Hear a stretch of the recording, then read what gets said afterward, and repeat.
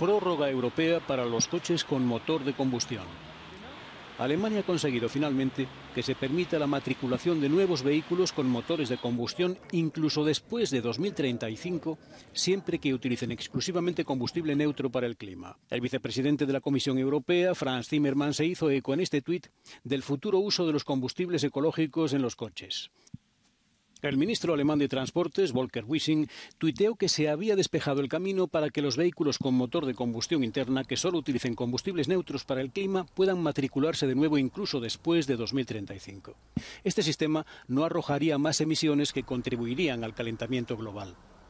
Wissing dijo que había acordado pasos concretos en el procedimiento y que se ha establecido un calendario específico vinculante.